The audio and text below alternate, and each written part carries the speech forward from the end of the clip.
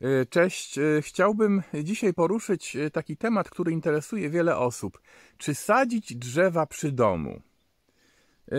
Mój teren jest otoczony lasami, wszędzie dużo drzew i na- początku nie miałem takiej potrzeby, nawet bałem się drzew, dlatego że przecież no, stanowią wiele zagrożeń dla domu. Potem jednak pojawił się problem gorąca.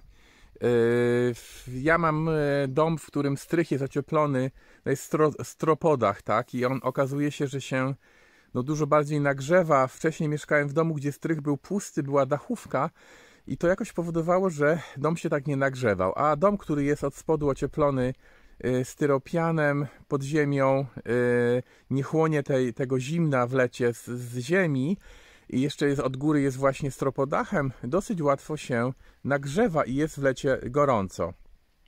Więc wymyśliłem sobie, że posadzę na dwóch narożnikach domu. Na jednym y, od południa, to jest południo, tutaj dokładnie południe biegnie po narożniku, posadziłem lipy, a od strony wschodniej posadziłem klony. I zrobiłem to tak, że, że jakby i, i lipy i klony były to 3-4 sztuki związane tak, żeby zapewnić to, że któraś z nich przeżyje. Poza tym, jeśli będą rosły po kilka, to będzie to wyglądało jakie, jako takie grubsze drzewo. Pierwotnie były cztery lipy, jedna y, przegrała konkurencję, trzy zostały. No i rzeczywiście one za kilka lat zlepią się w jeden pień, który będzie wyglądał na dosyć gruby, pomimo że te lipy były posadzone tylko 5 lat temu.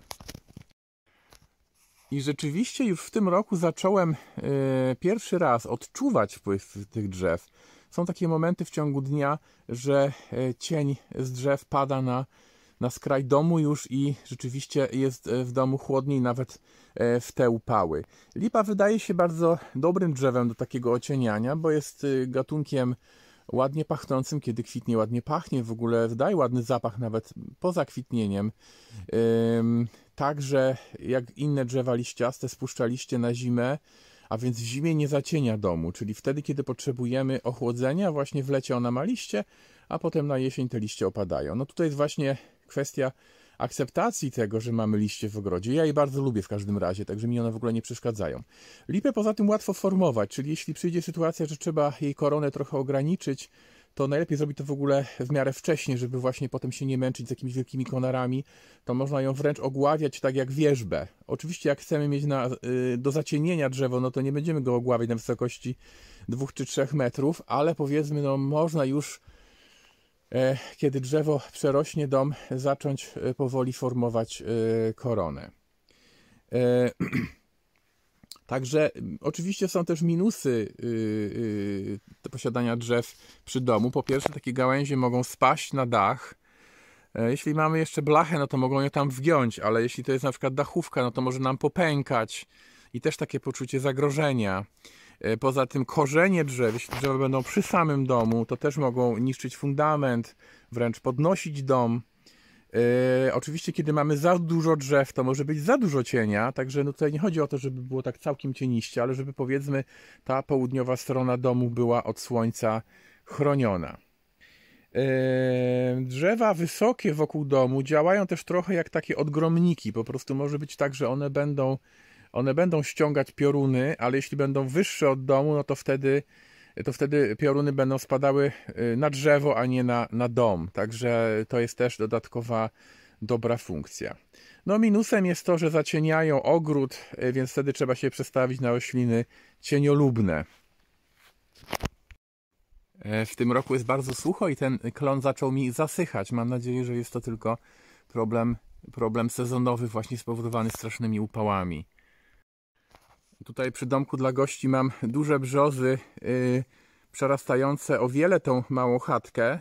No i rzeczywiście jest tu niebezpieczeństwo, że coś kiedyś może spaść. Yy, I trochę wkalkulowałem jakby, natomiast yy, szkoda mi było usuwać tak pięknych, potężnych yy, drzew yy, spod samego domu. Może jeśli będzie tych drzew dużo wokół domu, to też jakby te gałęzie nie zawsze trafiają wtedy na, na dach, bo, bo zawieszają się jedna na drugie i można jakoś czuć się bezpieczniej. E, usunąłem natomiast tutaj z okolic domu osiki, bo to jest gatunek z rodzaju topola i rzeczywiście właśnie topole, osiki, wierzby, one im się bardzo łatwo odłamują gałęzie, szybko rosną, potem właśnie jest problem. W sumie brzoza też jest gatunkiem szybko rosnącym, ale powiedzmy jest no bardziej długowiecznym, może tak się te gałęzie nie, nie odłamują. No i jeszcze jest temat e, roślin iglastych, zimozielonych przy domach. E, akurat tutaj w okolicy nie mam takich przykładów, więc po prostu filmuję takiego pojedynczego świerka, ale e, to też jest i wada i zaleta drzewa iglaste przy domu, bo one świetnie chronią przed wiatrem. Jeśli zrobimy no szpaler czy żywopłot z drzew iglastych, to nawet dlatego się tu je też często sadzi, no one świetnie chronią przed wiatrem, natomiast przez to, że mają właśnie igły cały rok, to też właśnie trzymają tą wilgoć. Także y, problem z wilgocią wtedy będzie większy. Drzewa liściaste mają tę przewagę, że w zimie, kiedy właśnie jest chłodniej, to ta wilgoć się bardziej jakoś tak y, wtedy zbiera, no to właśnie jest przewiew. Natomiast Natomiast ja bym radził sadzić przy samym domu drzewa liściaste, a właśnie gdzieś dalej od domu, od tej strony, gdzie wieje, posadzić szpaler drzew iglastych i wtedy on będzie chronił nasz dom przed wiatrem. Choć nie muszą to być drzewa iglaste, ja na przykład posadziłem 10 metrów od domu y, szpaler y, wysokich forsycji i one tak długo trzymają liście i też te gałązki chronią przed wiatrem, że zachowują się trochę jak jak drzewa iglaste, a przy okazji bardzo ładnie kwitną na wiosnę.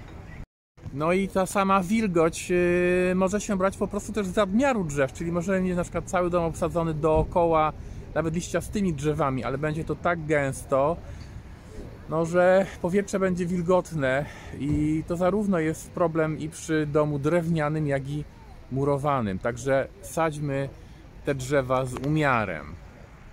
E, te drzewa przy domach to, to jest taki problem trudny i prywatny. Każdy powinien sam odpowiedzieć sobie, czy, czy właśnie te drzewa, drzewa mieć, czy nie.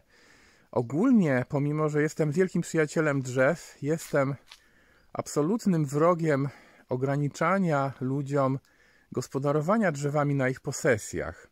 Uważam, że jedynie takie duże okazy, ponad stuletnie, nie wiem, mające średnicę powiedzmy powyżej 40 centymetrów, powinny być jakoś rejestrowane i chronione, a wszystkie mniejsze drzewa, jeśli gospodarz uważa, że one mu na przykład zacienia działkę albo zagraża jego domowi, powinien mieć prawo usunąć w ogóle bez dyskusji, bez jakichkolwiek zezwoleń. Także tutaj jest taki, ja mam, to może się wydawać dziwne, ale naprawdę jestem e, po prostu wrogiem takiego kontrolowania wszystkiego.